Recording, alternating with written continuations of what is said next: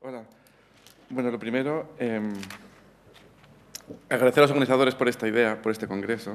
Eh, me parece que era necesario, que es importante, y, gracias por la invitación, que es un placer realmente compartir algunas, algunas ideas con vosotros. Y, realmente espero que, que, sean ideas que estimulen un poco el debate o que nos hagan pensar. Eh, sobre, el, sobre mi historia vital has, has, contado en presente cosas del pasado también, evidentemente. Ahora estoy en EFI y otras menciones fueron responsables anteriores.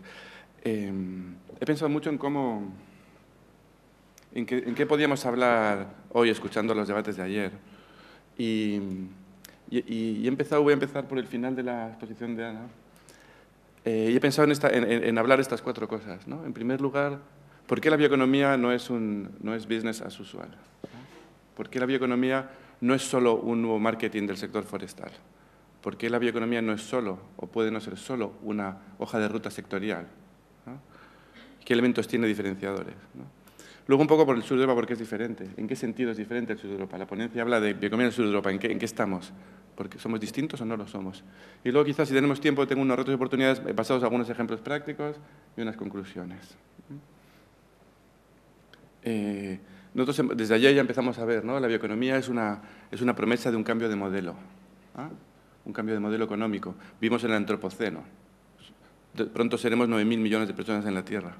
¿eh? Millones se incorporan cada día a, la clase media, 70% viviendo en ciudades, ¿eh? con un patrón de consumo urbano, una presión inmensa en los recursos naturales, cambio climático, pérdida de biodiversidad, en fin. Necesitamos un cambio de paradigma. Y si buscamos, si buscáis en, DuckDuckGo o en Google eh, imágenes sobre bioeconomía, tenéis la primera página, salen estas, por ejemplo. Hay gente que ve la bioeconomía como un, fundamentalmente como un negocio, como un componente económico eh, ligado al crecimiento verde, otros lo ven como una reconciliación entre crecimiento y naturaleza, un retornar a vivir de la tierra. ¿ah? Y en medio tenemos eh, distintos pensamientos sectoriales, unos más urbanos, otros más rurales, eh, unos más forestales, otros más agrícolas, otros más biotecnológicos. La economía es un concepto que, evoluciona, pero está vinculado a, ese cambio de paradigma en, distinta intensidad. Y como os decía, volvemos al origen, ¿de dónde estamos? Si conocéis el trabajo de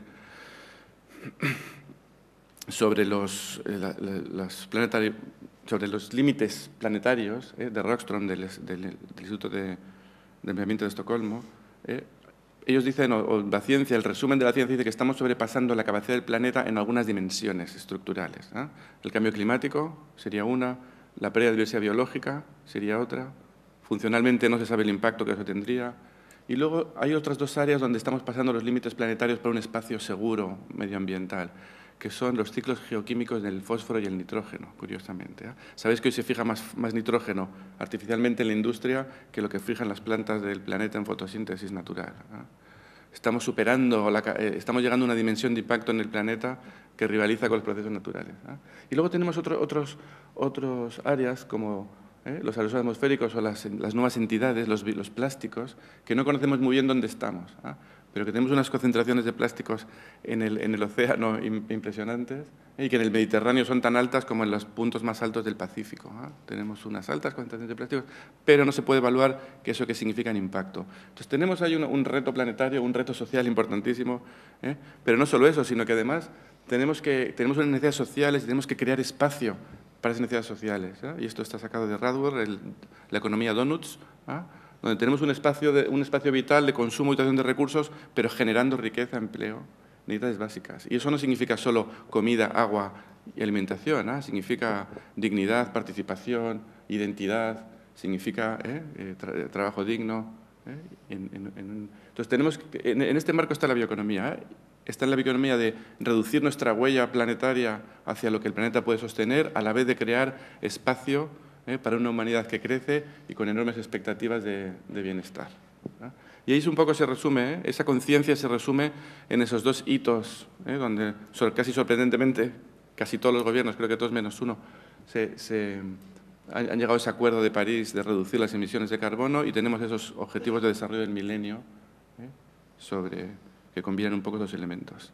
Vale, pero esto, conseguir este, este modelo, nuevo modelo, está en un contexto ¿eh? como os decía, de, cambio global muy, muy, fuerte y muy rápido, y acelerando. ¿eh?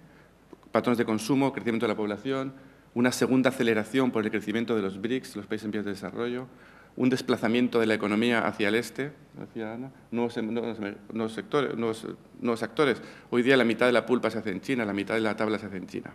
¿eh? La mitad del packaging se requiere en China.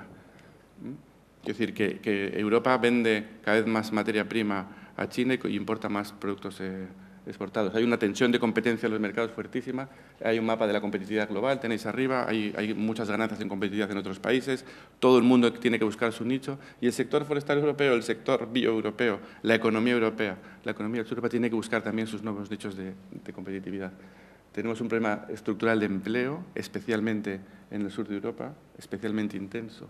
¿eh? Y luego está en el contexto de la, revolución digital, de, otras revoluciones tecnológicas. ¿eh? Tenemos la revolución biotech, como un paradigma, el siglo de la madre dices tú, otros dicen que es el siglo de la biología, el siglo de las, biotecnologías, pero tenemos también eh, la revolución digital, ¿eh? el planeta cambia, cambia radicalmente, los modelos de negocio, ¿eh? la dematerialización, en fin, es un contexto realmente, realmente complejo en el que, este, esto tiene que ocurrir. ¿ah? Si, veis este, este trabajo sobre el Foro Económico Mundial, sobre los grandes retos de la región mediterránea, lo resume en dos retos. ¿ah? la gestión sostenible de los recursos naturales en un contexto de cambio climático, el agua en el Mediterráneo, la alimentación, 500 ¿eh? millones de personas en, la cuenca mediterránea ¿eh? y, la generación de empleo y riqueza. 50% de paro juvenil en el norte de África. ¿eh? En España no, es necesario hablar del, paro estructural. En el Mediterráneo en su conjunto tenemos los grandes retos y ahí es donde nos tenemos que situar. En ese contexto, ¿qué es la bioeconomía? Os pregunto yo. ¿Ah? Es un sector de la economía, como la definición de la Unión Europea? ¿Es un sector de la economía, el sector bio, o es una biologización de la economía, es una transformación del modelo económico? Como sector bio, lo tenemos ahí, ¿eh? transformación de biomasa para múltiples aplicaciones. Y simplemente dos cosas. ¿no? El sector forestal siempre ha sido un sector que tiene una materia prima fundamental y luego tiene un mercado, una, una cadena de valor divergente, ¿eh? Que puede acabar en un zapato, la madera, puede acabar en una casa, puede acabar en papel o en energía con la bioeconomía, esa divergencia de sectores ¿eh? incrementa mucho más. ¿eh? Y el recurso lignocelulósico puede acabar en cualquier sitio. Puede ser plástico, puede ser casa, puede ser un textil, puede ser cualquier cosa. Pero es que la cadena de valor hacia arriba también se diversifica. Y, y, hay otros materiales lignocelulósicos que pueden competir, mezclarse, reemplazarse mutuamente con con la, con la madera en cualquier contexto. ¿Eh? según qué tecnología, según qué producto. Quiere decir que el sector forestal desaparece como tal. Hay un biosector emergente, eso es un primer mensaje. ¿eh? ¿Bioeconomía forestal qué es? ¿Qué es la bioeconomía forestal si no está en el marco de otra bioeconomía? Como os digo, hay una, integración y una desaparición de las barreras sectoriales a las que hay que estar atento. El sur de Europa tiene un, sector bioeconómico bastante potente. ¿ah? Si pensamos en, la capacidad agraria, Francia, Italia, España, son grandes potencias agrícolas con grande cantidad de residuos agrícolas y con un sector forestal significativo. Pero ahí tenéis un poco lo que sería la dimensión de la bioeconomía en nuestros países. ¿ah? Tenéis la, agricultura, la transformación agrícola y esos, los verdecitos que salen un poco sería la parte forestal, con la, lo forestal, los productos forestales, los residuos forestales. ¿eh? Tenemos un, contexto del nuevo sector bio, ¿eh? donde tenemos que biologizar eh, nuestra economía, donde lo forestal en nuestro contexto es, es importante, significativo, pero es minoritario. Es minoritario y habrá que buscar las alianzas necesarias en ese contexto. Si pensamos en biologizar, si, si pensamos en transformación más profunda de la economía, ¿Qué, queremos transformar? ¿Qué sectores? ¿Ah? Ahí os he puesto los sectores que Naciones Unidas, UNEP, reconoce como los sectores claves de la economía verde. ¿Ah? Bueno, primero los recursos naturales, gestionarlos bien. Luego tenemos que la energía, la manufactura en general, los residuos, tenemos la edificación, el modo en que vivimos en nuestras ciudades, los modos de vida urbana. Tenemos el transporte, el turismo, el 10% del PIB mundial, creo que. ¿ah? Quiero decir, tenemos ahí unos sectores que hay que transformar. ¿Qué podemos hacer por esos sectores? ¿Cuáles son los sectores que van a tirar de la nueva bioeconomía? ¿Va a ser la construcción? ¿Cuál va a ser? ¿Qué impacto podemos hacer? Y para eso simplemente recordaros que tenemos una necesidad, que, tenemos una, ahora una, visión muy eh, carbonizada de nuestros retos sociales. ¿eh? Ponemos mucho al cambio climático al carbono, que, con, justicia seguramente, pero otros grandes retos, y uno de ellos es el de, materializar la economía. Eso es el consumo per cápita, consumo doméstico per cápita de esos países europeos. ¿eh? Finlandia, Suecia, los países nórdicos están en un consumo ¿eh? de 28 30 toneladas de material per cápita por año. Si veis aquí a la izquierda, Italia, España, eh, Croacia, países de Francia, estamos en, entre 8 y 10, 12 toneladas de material per cápita. ¿Cuánta madera tenemos per cápita en Galicia? 8 millones entre 2,7, 3. 3, millones, 3 metros cúbicos, 3 metros cúbicos per cápita tenemos en Galicia de madera para reemplazar unas necesidades que tenemos de 8. Luego, la bioeconomía significa dematerializar, reducir la intensidad reducir la intensidad. ¿Somos capaces de reemplazar todas nuestras necesidades con bio? ¿De qué manera? Por eso la bioeconomía tiene que ser evidentemente circular, o sea, evidentemente circular. No puede ser un business as usual, no puede ser produzco, vendo, desecho. ¿eh? Y eso tiene unas, tiene unas implicaciones eh, grandísimas. Tienes una economía circular ¿eh? Donde tengo un input de recursos biológicos y que los puedo utilizar, reutilizar, reciclar, y donde seguramente tengo un aporte muy fuerte de energías renovables, porque no puedo transformar el, sector energético con, con producto biológico, y donde seguramente tengo que además meter elementos de fitorremediación, ¿eh? que no solo, y reducir el residuo completamente. Y tenemos que ir a un modelo de bioeconomía que está en esa línea. Y aquí solo quería daros dos ideas más. En, ese contexto, con nuestros recursos, pensar Galicia 3, ¿eh? País Vasco menos de un metro cúbico por persona y año. ¿eh? ¿Qué podemos hacer con eso? Es importantísimo sacar el máximo valor a lo que tenemos. Y ese sería, ese, ese gráfico del JRC te dice cuántos miles de euros necesito para generar un empleo. ¿eh? En la producción de bioelectricidad necesito 800 millones por empleo. 800.000 euros por empleo. ¿eh? En, los biofueles necesito 500.000 euros de facturación por empleo. En, el sector forestal primario, 100.000. ¿eh? Y, en, la, factura de la madera, pues 100.000 euros por, empleo. Es decir, cuanto más bioenergía haga, menos empleo genero, comparado cuanto más vivienda, construcción, otras cosas hay que buscar, y cada territorio tendrá sus oportunidades. ¿eh? Y segundo es el, valor, el valor del residuo. Esa es la, lo habréis visto muchas veces, la pirámide del valor. La cosmética, los textiles, la moda, fashion. ¿Eh? Es, lo que el, el, biofarma, la farmacéutica, los extractos, los aditivos, las moléculas especiales, tienen alto valor con bajo consumo de biomasa. ¿eh? La alimentación, luego, luego tenemos las plataformas químicas, los bioplásticos, tienen un consumo relativamente alto valor más alto, un consumo relativamente medio de biomasa. Y luego tenemos la energía, por ejemplo, los biofuels, que son grandes consumidores de biomasa por el, y, de, menor valor. Es decir, hay que, estar, hay que estar atentos a la, y hay que favorecer siempre los dos altos, especialmente, seguramente, en, nuestro contexto. ¿eh? Es decir, cuando se diseñan políticas, apoyos, mensajes sectores, hay que tener en cuenta.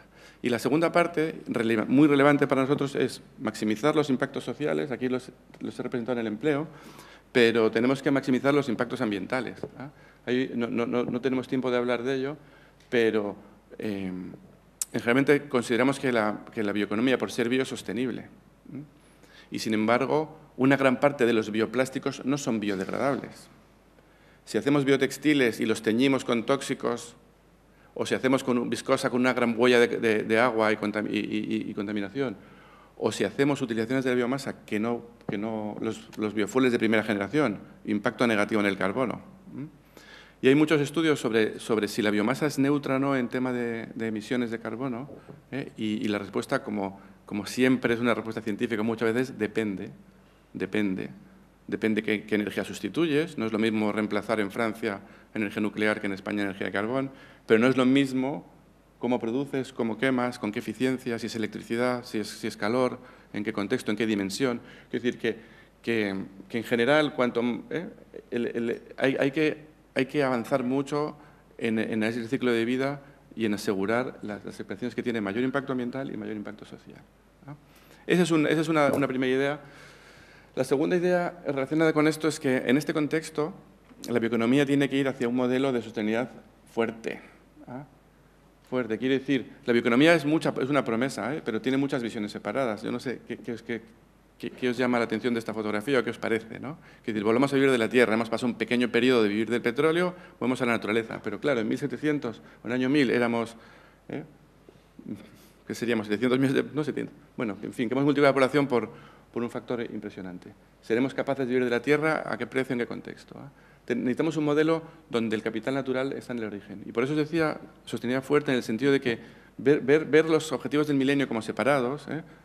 conservar la diversidad, empleo, desarrollo, ciudades habitables, o ver los pilares de la sostenibilidad como cosas independientes, ya nos sirve. El capital natural, el recurso, es la base, es la base. es la base, está totalmente inmerso en la, en economía. Entonces, conceptualmente hay que, hay que pensar que hay unos, un, un, capital natural que es la base del modelo económico, hay unas necesidades humanas y hay un motor económico que tenemos que ser capaces de desarrollar, pero que está todo interconectado. No podemos, ya no sirve decir eh, desarrollo versus naturaleza. Tengo que buscar modelos de desarrollo que se basan en, la naturaleza precisamente, mucho más que en la economía petróleo, donde podía prescindir eh, en gran parte de la naturaleza para el modelo económico, sin más. ¿eh? Y por eso, si queréis, resumiendo todo esto, este sería un modelo de economía circular, donde tengo el capital natural en una esquina, la sociedad y sus necesidades en la otra, el capital natural, el recurso bosque, los recursos naturales en general me dan servicios ecosistémicos, algunos son de provisión, de madera, de recursos no maderables, bienes, me dan servicios ecosistémicos, regulación de agua, secuestro de carbono, algunos tienen mucho que ver con la resiliencia y la capacidad de producir bienes, producir madera en el futuro, y me dan servicios culturales, ¿eh? de identidad, de recreo, de salud humana, espirituales, ¿ah? y todo eso es lo que yo tengo que gestionar para, el beneficio, para maximizar los beneficios sociales y, la parte material, como la veis, la tengo que gestionar en un contexto de economía circular, como decía Ana también. ¿no? La, estrategia francesa es la única estrategia de bioeconomía del sur de Europa que le mete mano a la sostenibilidad, con un poco de detalle, y ellos hablan de que es necesario jerarquizar el uso de los recursos, jerarquizar, es necesario fraccionar para usarlo mejor en cada momento, y es necesario el uso en cascada. Y luego todo eso ¿eh? en la estrategia de movilización de biomasa que lo desarrolla de una manera pragmática. ¿ah? Hay que hacer lo que podemos hacer dentro de esos principios básicos. ¿eh? Y, os pongo ahí el azul clarito que tenéis además otras cosas, ¿eh? como la economía colaborativa, la economía, las nuevas, la, dematerialización de la economía, lo que tiene que ver con, la economía digital, ¿ah? el Airbnb, en fin, sin más. Hay que decir que la, economía, la, bioeconomía forestal hay que meter en este contexto de circularidad, de nuevos modelos de negocio digitales y hay que ver no solo el recurso madera, hay que ver el conjunto de recursos que nos provee, incluyendo servicios ecosistémicos y. Y esa sería un poco eh, la razón por qué la bioeconomía no es business as usual. No es y, si queréis, ahí tenéis unos adjetivos que la estrategia francesa también le pone a la bioeconomía. Mirando hacia los ciudadanos, mirando hacia el territorio, integración territorial. Eh, eficiente, resiliente, circular, productiva, ¿eh? que genera empleo, riqueza, prosperidad. La estrategia francesa en ese sentido tiene otro elemento que, enlaza un poco con la discusión de ayer que te dice em, em, hay que reconocer que hay, una, que hay ciudadanos que, que, no están de acuerdo, que legítimamente critican este modelo de bioeconomía. ¿ah? Y eso solo se puede superar con participación, con diálogo, con, eh, con participación pública a distintos niveles. ¿eh? decir, la bioeconomía es un tema social también, ¿ah? no puede ser solo un tema industrial. Hasta ahí la primera parte. La bioeconomía significa un modelo, un nuevo modelo de pensamiento también para el sector forestal. Y si el sector forestal solo pretende reempaquetarse y rehacerse marketing, no, no, no, ¿eh? enganchará con la sociedad de nuevo y, simplemente bueno, tendrá sus oportunidades de negocio, pero no, va a contribuir todo lo que podría a esa transformación social. El sur de Europa, ¿en qué sentido es diferente? ¿Eh? El sur de Europa, para empezar, es muy diverso. ¿ah? Simplemente el contexto social que os decía antes. ¿ah? Es, un, territorio con una población altísima. ¿eh? Si comparamos con el norte de Europa, por ejemplo. Muy urbanizado, que tiene el 30% del turismo mundial, que tiene el 60% de la población que vive en zonas eh, con restricción hídrica o con limitaciones de agua. Es, una zona que, es un, reservorio eh, de nivel mundial de, de biodiversidad, un hotspot de biodiversidad y que tiene sus problemas económicos estructurales y diversos, no podemos entrar mucho. En el sector forestal, aquí sí me quería tener un poco, ¿en qué, es diferente? Eh, no sé si conocéis el trabajo de, de IIASA, creo que es del 2008 ya, o 10. Habla sobre, em, habla sobre el impacto de la globalización en el sector forestal europeo. Y ellos eh, describen los, el sector forestal europeo en base a unos tipos forestales, ¿ah? que no son, bio, mm, no son ecológicos o no son biofísicos, ¿eh? son más bien socioecológicos, ¿ah? si queréis. Y entonces esto, ellos describen el, el, bosque nórdico como un bosque globalizado, con una industria de, pulpa y papel eh, muy potente, muy internacionalizada, eh, que también tiene, por supuesto, a Serrillo y Segunda Transformación, pero donde tiene una industria del papel que es el núcleo, donde tiene una cadena de valor muy integrada, la propiedad en cooperativas, las cooperativas dueños de las multinacionales, ¿eh? donde, tiene una, ¿eh? donde pactan sus precios a seis meses, volumen de suministro, donde tiene, ¿eh? y donde son jugadores mundiales y juegan en todos los mercados aquí le vendo esto, aquí aquello, y son capaces de sacar un, rendimiento altísimo. ¿eh? Si veis el bosque centroeuropeo, por ejemplo, sería un bosque donde el 60% de la, de la propiedad es pública, que moviliza la mayor parte de la madera, donde tiene una industria de aserrío muy eficiente y muy grande, de mucha dimensión, sierras de un millón de metros cúbicos, de 700.000. ¿eh? Eh, y donde también son jugadores mundiales. El madera tiene un sector del papel más pequeño, donde tienen problemas de movilizar un poco la propia privada, pero que acompaña a una gran pública, donde cuando el mercado baja el precio, los lander alemanes suministran al precio que sea, a 20, a 5, a 10, a lo que sea. Yo mantengo mi industria. ¿eh? Em, y luego tenemos, por ejemplo, en el sur de Europa, tendríamos el bosque mediterráneo, un bosque de baja gestión, donde apenas se, moviliza madera, con un alto riesgo de incendio, con productos nicho como el chopo, el corcho, eh, donde hay un montón de propiedad una propiedad privada ausente, no organizada. Y luego tendríamos, por ejemplo, el bosque atlántico de plantación, donde tiene una industria del papel con jugadores, eh, algunos jugadores de escala mundial, donde tiene un aserrío familiar, pequeño, fragmentado, con muy poca capacidad de innovar, con dificultades para financiar, por ejemplo, la transformación hacia productos de mayor valor agregado, donde la propiedad está, muy poco organizada, donde quitando Francia no existen grandes cooperativas o gestión conjunta, donde hay unas disfunciones en la cadena de valor, ¿eh? si queréis desconfianza entre el, entre, en la cadena de valor. En fin, ese sería un poco el, el, contexto. Un bosque de plantación donde estaríamos eh, en, el, en el commodity, estaríamos en productos de muy bajo valor añadido, tabla, tablón, pallet. ¿eh? Nos decías, tú nos decías, Ana, por ejemplo, hemos subido las cortas en Galicia, hemos bajado la segunda transformación. Es decir, estamos cada vez más en el commodity, luchando al coste, ¿eh? pagando el, ¿eh? con muchas tensiones para movilizar madera, propietarios que no están contentos con los precios que reciben y, y dificultades serias para, para competir. Y, ese es el contexto. ¿ah? Si la mitad del tablón se hace en, China, el precio va a ser durísimo. No hay, no hay espacio para competir en el, en el commodity. Es muy difícil mantenerse ahí. ¿eh? Eso sería un poco el contexto. Os dejo esto en la presentación, ¿eh? la descripción de estos tipos y un poco lo que ya sabe como estrategia para cada región. ¿eh? Al mundo atlántico le dice commodity, pero vas a, poder, vas a poder mantenerte ahí. Al mundo mediterráneo le dice igual productos nicho. Veamos. Hay muchos elementos de este contexto que os he contado rápidamente. Me, voy a detener solo en uno, y ese es que, porque salió ya la discusión, que es el tema de la percepción social. ¿Qué piensan los europeos del bosque? Esta es una encuesta de la DG Agri, de la Dirección General de Agricultura del 2013, tenéis ahí la referencia, donde le pregunto a los europeos qué piensan del bosque. Es muy interesante, os lo recomiendo leer. Primer problema de los europeos para el bosque, ¿cuál sería? Los incendios, sí. El segundo problema, las operaciones forestales. ¿Mm? Preguntas a los europeos, ¿los bosques están bien gestionados? Sí están bien gestionados. ¿Qué es un riesgo? Las operaciones forestales, las matarras a las cosechas. ¿eh? Los europeos no saben que su bosque está gestionado o cómo se gestiona. Pero en todo caso, si le preguntas a los europeos para qué quieres que sea el bosque, eh, cada barra es un país. ¿eh?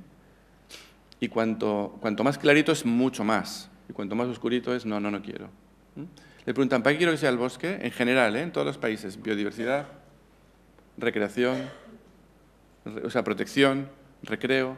El cuarto, ya lo veis, que muchos países no quieren para nada materiales. Y lo último, bioenergía.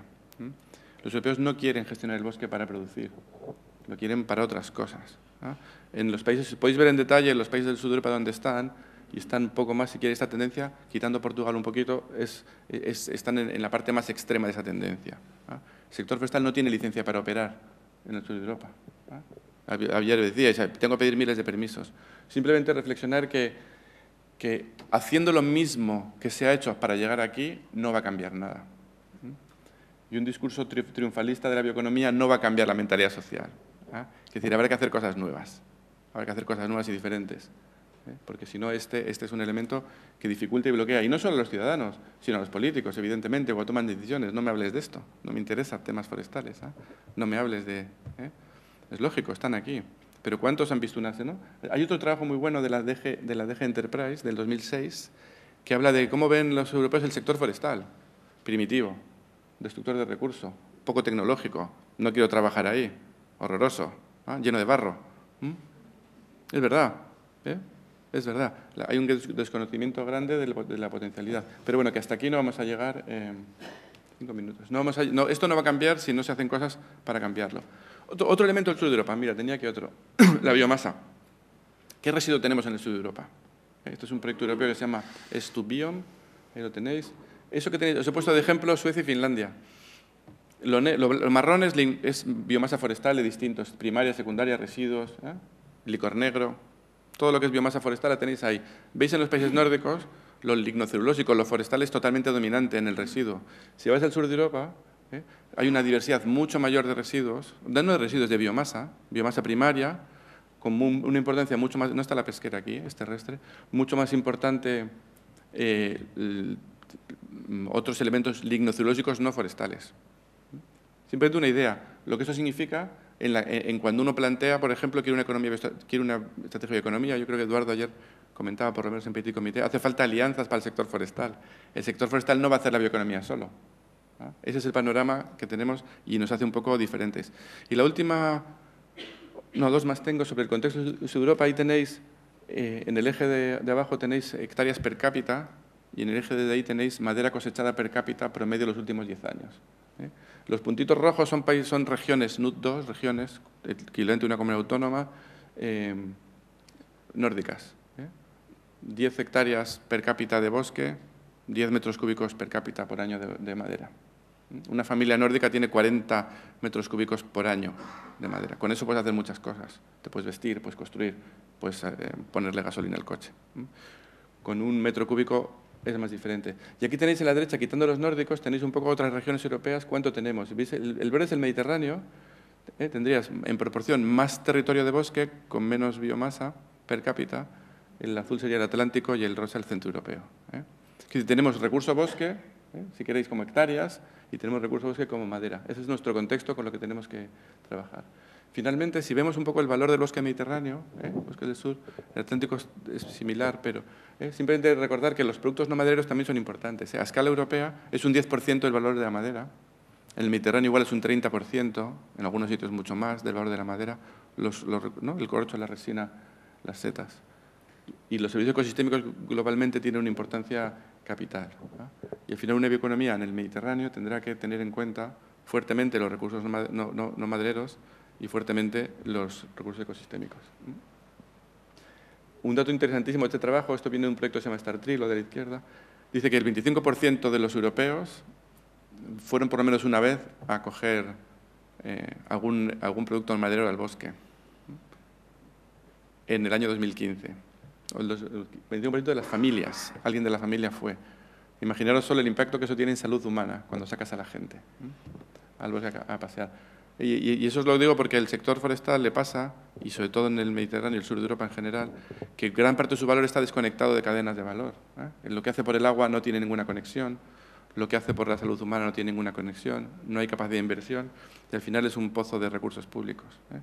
El sur de Europa gasta, ¿cuánto? ¿2.000, 3.000 millones al año en combate de incendios. ¿eh? Es un pozo permanente de recursos públicos y no somos capaces de conectar sus valores con el mercado. ¿Ah? Y finalmente, el, sur de Europa es muy diverso. ¿ah? Es muy diverso. Eh, el otro elemento que, tenemos que reflexionar es cuáles son los sectores que van a tirar de la bioeconomía en el sur de Europa. ¿Mm? ¿Cuál va a ser? Va a ser en la construcción, que es el 42% del consumo energético, el 50% de los usos materiales, el 33% de los residuos. ¿La construcción va a tirar del bosque en el sur de Europa? ¿O va a ser el textil y la moda? Hoy día el 60% es poliéster, el 30% es algodón, con un impacto de agua enorme ese sector del textil es donde nos va a tirar, vamos a ser capaces de hacer, va a ser los plásticos, va a ser la automoción, ¿qué sector económico va a empezar, a, va a ser el sector químico, la química verde? ¿Cuál va a ser el sector que va realmente a demandar y tirar? ¿Y cómo va uno a integrarse en el sector? Ahí tenéis a escala europea ¿eh? las tendencias en, ejes diferentes, tenéis ¿eh? la, madera cerrada y luego veis los sectores que emergen contra el PIB mucho más fuerte, que es la pulpa disuelta para textiles, y, la madera contralaminada o el producto de ingeniería madera como productos que, van tirando.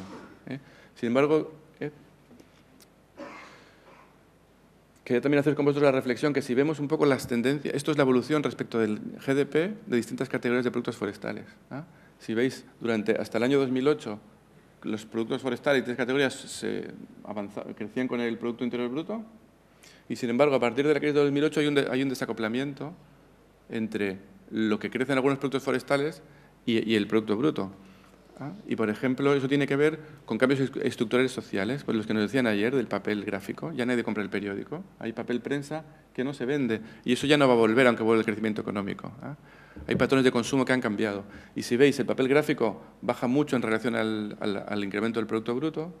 La madera, el, tablero se mantiene más o menos, o ¿eh? se acopla. La madera baja algo. Y lo que está subiendo fuertísimo es la, la madera para bioenergía. Si lo pensáis bien, eso significa que estamos haciendo cada vez usos menos valiosos de nuestro recurso. ¿Eh? ¿Qué sectores son los que van a tirar? Eh,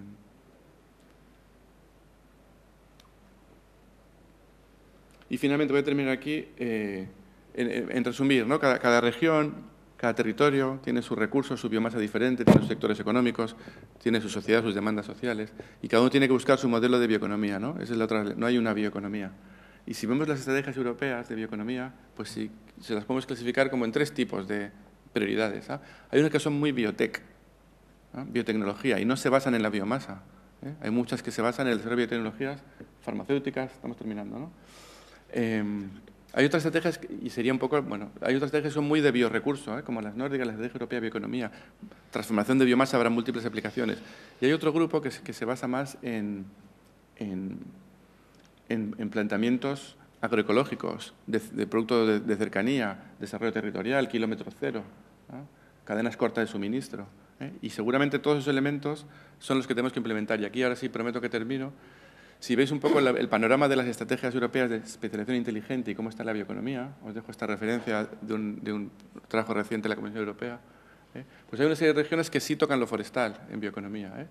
Y si queréis, ahí, ahí podríamos resumir así. ¿ah? Hay, regiones como Madrid que son totalmente biotech. Nada de recursos, la biomasa no me importa. ¿eh? Farma, farmacéutica, especialidades químicas, biotecnologías agrarias, industriales. ¿eh? Y, es un motor de economía, un motor de crecimiento. Hay otras que son muy de biotecnología industrial. La refinería más grande de Europa está en, en el puerto de Rotterdam.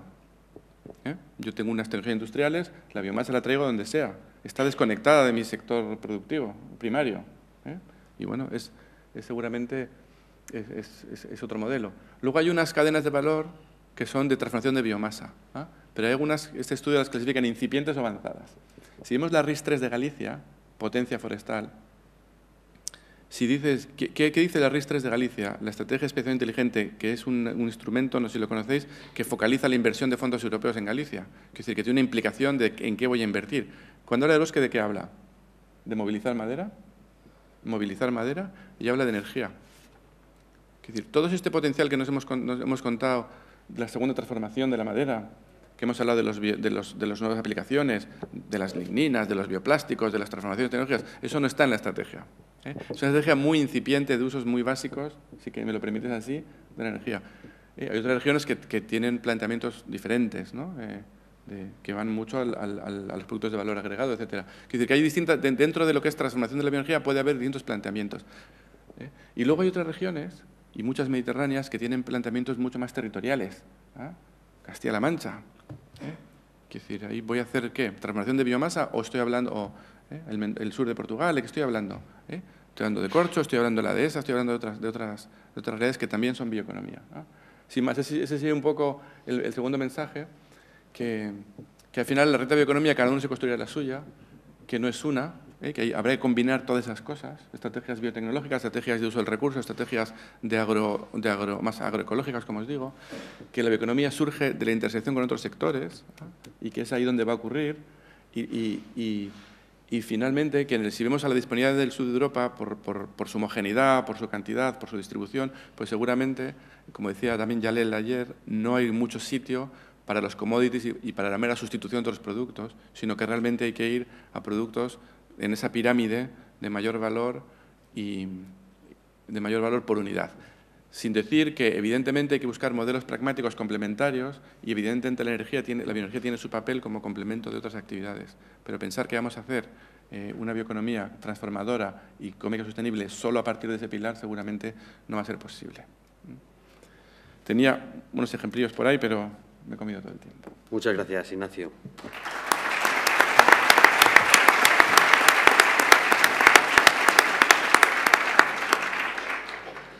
Interesantísimo y para reflexionar. Muchísimos datos para pensar y para estudiar. Eh, a continuación va a intervenir eh, José Herrera Castanedo. Es ingeniero de grado en, técnicas industriales, ingeniero técnico industrial mecánico especialista en, estructuras y desde el año 2009 coordina el Departamento Técnico y Comercial de Maderas Jofra, eh, Sociedad Anónima. Eh, se dedica al diseño, cálculo, fabricación y montaje de estructuras eh, laminadas para empresas eh, constructoras, las más grandes de España, tipo ferrovial, etc. Y para estudios de arquitectura y de ingeniería. Es experto en cálculo de estructuras de madera laminada, en grandes luces, pues, como cubiertas para aeropuertos, polideportivos, puentes con grandes vanos, etcétera. José, tengo que pediros